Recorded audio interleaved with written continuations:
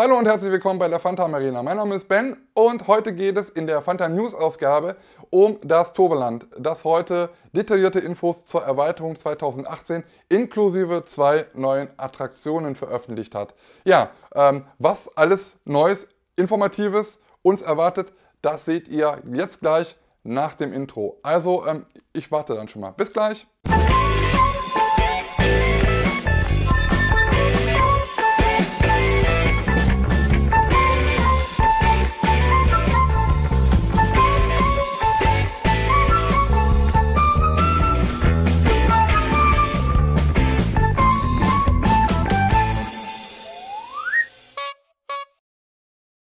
So, da bin ich wieder zurück. Hat ja gar nicht so lange gedauert, oder? Also, heute geht es ums Toverland und äh, um die Erweiterung. Wie gesagt, heute wurden detaillierte Infos nicht nur äh, zu den Rides, sondern auch zu dem neuen Themengebiet rausgehauen, äh, die besprechen werden sollten. Ähm, wie man vielleicht weiß, äh, das Toverland hat die Informationen ja schon länger rausgehauen. Ähm, es, das Land, das Toverland, das Land, das Toverland äh, nimmt 30 Millionen Euro in die Hand, um ein, eine Erweiterung zu finanzieren und zu bauen. Ähm, knapp 7 Hektar wird diese Erweiterung groß sein. Neben einem neuen Eingang sind zwei neue Attraktionen dabei und das Ganze gepaart in einem neuen Themenbereich. Ja, und äh, mehr war da eigentlich nicht äh, bisher bekannt, außer dass es bei diesen zwei Attraktionen um, ein, um eine Achterbahn, einen Wingcoaster und um eine Bötchenfahrt geht. Äh, Wingcoaster, wenn euch das jetzt nicht sagt, dann schaut mal ähm, vielleicht auch in das Video vom Heidepark bei uns auf der Seite, denn da sind wir schon einen Wingcoaster gefahren. Und zwar steht so einer, wie gesagt, im Heidepark als, äh, mit dem Namen Flug der Dämonen. Und ja, ähm, von, dieser, von diesem Achterbahntyp gibt es in Europa jetzt nicht so viele. Deswegen ist der Wingcoaster, der jetzt im ähm, Toverland gebaut wird, auch der erste in den Benelux-Ländern. Ja, ähm, ja, wir kommen jetzt erstmal nicht nur, also nicht nur zu den Attraktionen, sondern zu den ganzen Informationen, die der Park heute rausgehauen hat, äh, sind wirklich sehr, sehr viele. Wir fangen erstmal an mit dem neuen Themenbereich. Der Themenbereich hatte bisher, bis dato noch keinen Namen. Das ändert sich aber heute. Wir wussten nicht, was für eine Geschichte steckt dahinter, wo spielt das Ganze. Ähm, der Name der Themenwelt ähm, heißt Avalon und Avalon ist, äh, ja, dort ist der Zauberer Merlin beheimatet. Also ähm, ganz im Namen äh, des Tovers, ja, Tova heißt ja Zauber auf äh, Deutsch, ähm, bleibt man sich dem Namen treu und ja, baut jetzt im Namen von Merlin, ja, also jetzt nicht der äh, Gruppe, sondern ähm, dem Zauberer. Und ähm, ja, also da gibt es jetzt auch schon die ersten Renderings und das sieht wirklich cool aus. Ich blende euch die jetzt hier immer mal äh, ein, währenddessen ich hier rede. Und zwar ähm, sieht man wirklich sehr viel Grün, ja, viele Bäume, also es ist, ja, hat schon sowas von einem äh, magischen Wald, würde ich schon sagen. Ähm, die Stelle, wo das Ganze gebaut wird, ist ja, ja ein See, der wurde jetzt ausgetrocknet oder ähm, ausgepumpt und da wird jetzt gebaut. Momentan sieht man noch nicht so viel von den Bauarbeiten und das Jahr 2017 äh, neigt sich ja schon so langsam dem Ende. Wir haben ja jetzt schon Herbst. Ähm, deswegen ist schon sehr sportlich dass nächstes Jahr dieser komplette Bereich mit zwei neuen Attraktionen aufmacht. Deswegen mal gucken, aber ich äh, bin da vermutet, dass das auch auf jeden Fall äh, funktioniert. Ja, äh, neben den zwei Attraktionen wird es in diesem Bereich in Avalon auch ein neues Restaurant geben und äh, der Name des Restaurants heißt The Flaming Feather und da kommt man auf 130 Plätze im Inneren dieses Restaurants und auf einer Außenterrasse gibt es dann nochmal zusätzlich 300 Sitzplätze. Ähm, was gibt es dort? Fleischgerichte, Mittagessen äh, und was besonders ist, Getränke wird dort in Krügen und Karaffen äh, serviert. Passt auch alles so ein bisschen, wenn man sich das mal anschaut, diese ganzen Renderings davon. Ja, es hat schon so ein bisschen was von Mittelalter, es hat aber auch ein bisschen was von Herr der Ringe. Äh, wenn man sich das Ganze mal auch von draußen anschaut, ja, dann hat das schon so ein bisschen was von einer Hobbithöhle äh, mit den runden Scheiben und äh, den Eingängen und so. Aber nichts Schlechtes, sieht auf jeden Fall sehr, sehr cool aus. Ähm, ja, das wird aber nicht nur ein einfaches Restaurant. Ich würde mal schätzen, dass es sogar ein Event-Restaurant wird denn äh, man wird da noch ein bisschen mehr entdecken, außer die Sachen, die auf der Speisekarte stehen. Denn ähm, man gibt die Informationen weiter, dass an der Decke sich geheimnisvolle Sternenbilder ähm, verbergen. Also denke ich mal, ja, dass es auch so ein bisschen in Richtung Efteling geht. Vielleicht kennt ihr das Pfannekuchenhaus, äh, wo hier und da überall ein bisschen was passiert und auch wirklich gut mit Thematisierung gearbeitet wird. Sowas stelle ich mir dort auch vor. Und ähm, ja, es ist ein magischer Ort, sagt man, und äh, mit vielen mysteriösen Geheimnissen. So wird es ja beworben.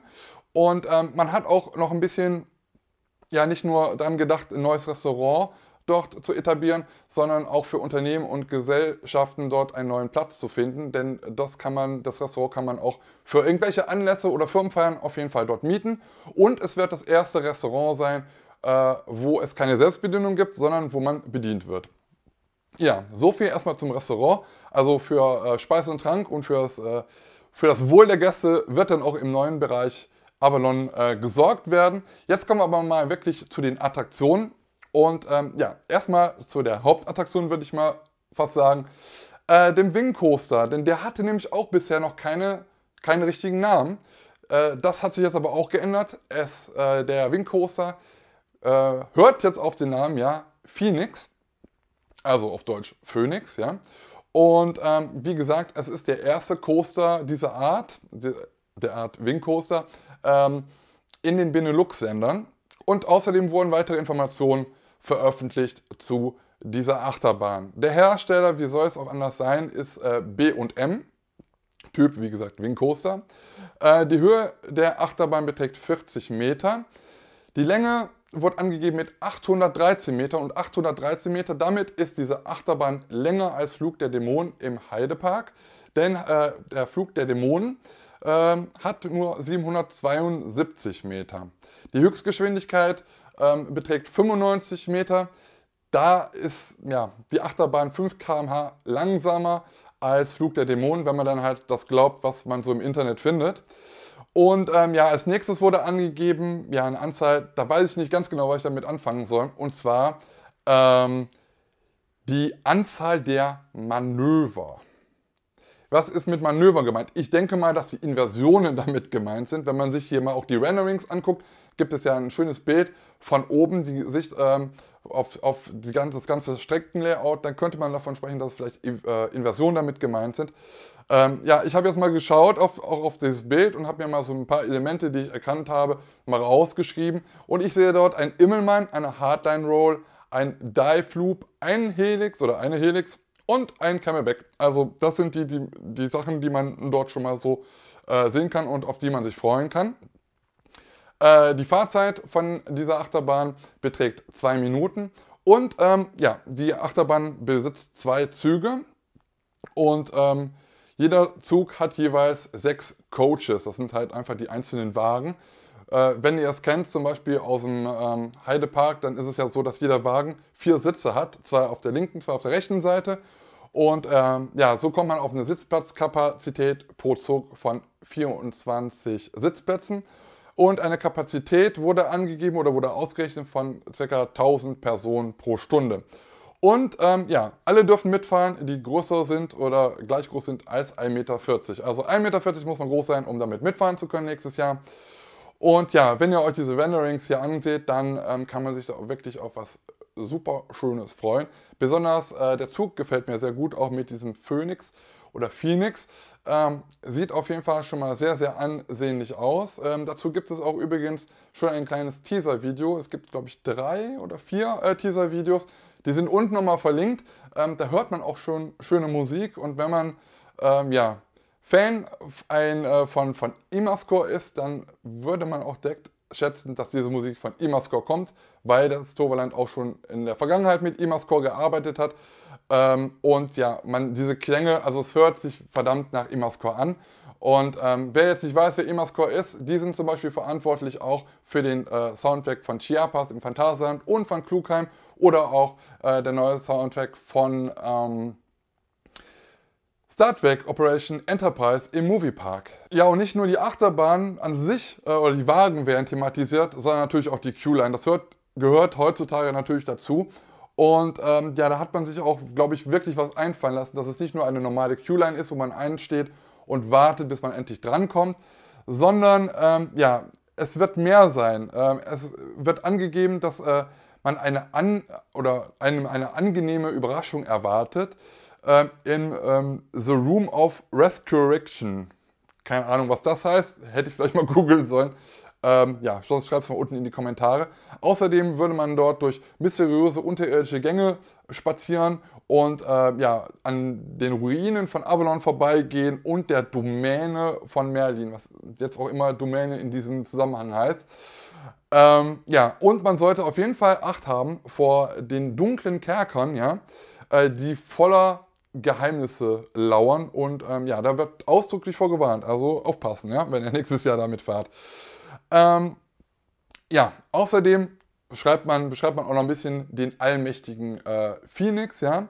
Er hat sich in dieses prachtvolle Geschöpf verwandelt und erlebt seinen ersten Flug, unterwegs zum nächsten Ziel.